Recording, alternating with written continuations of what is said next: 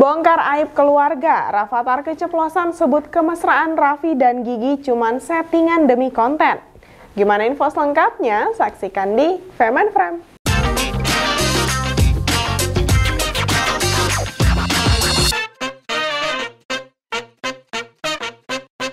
Halo, kembali lagi dengan aku, Gaida. Rafathar menjadi salah satu anak artis yang diidolakan banyak orang. Bagaimana tidak, selain parasnya yang rupawan, tingkahnya kadang bikin gemas netizen.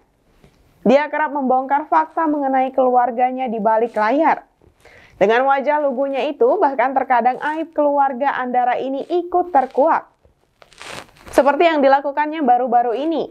Mulanya, Raffi menanyakan terkait siapa yang paling romantis di rumah.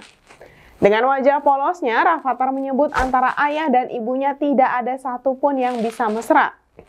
Malahan secara belak-belakan dia menyebut jika kemesraan yang kerap ditampilkan ayah dan ibunya di layar kaca hanyalah demi kebutuhan konten.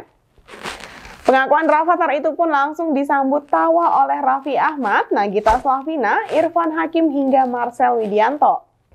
Mengutip tribunstyle.com, Rafathar kembali membongkar borok ayahnya sendiri.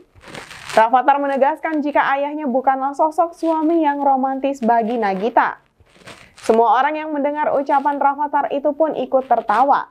Saksikan terus program Fame and Frame hanya di Banjarmasin Post dan jangan lupa beri like, komen, dan subscribe juga ya.